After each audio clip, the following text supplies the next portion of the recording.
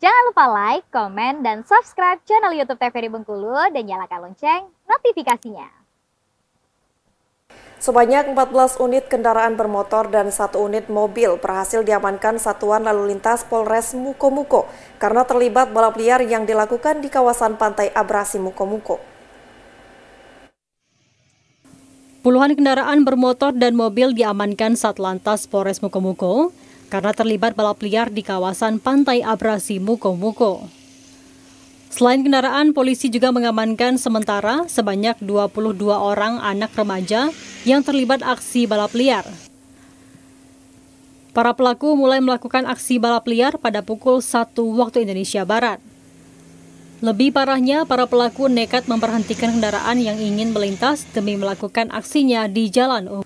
Kasat Lantas Polres Mukomuko AKP Rulizul Fermana mengungkapkan, setelah mendapat informasi masih adanya aksi balap liar di kawasan Pantai Abrasi Mukomuko, pihaknya langsung mendatangi lokasi, berhasil melakukan penertiban dan berhasil mengamankan kendaraan bersama pelaku.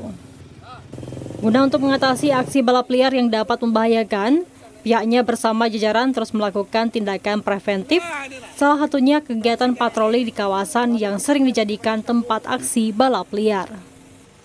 Selain kendaraan juga kita telah mengamankan beberapa bilang pelaku ya sebenarnya ya mereka ini ya yang di sekitar situ juga nonton ya kan ada juga yang mabuk-mabukan ya sambil nyetel musik secara kencang ya itu ada beberapa orang ada sekitar 22 orang.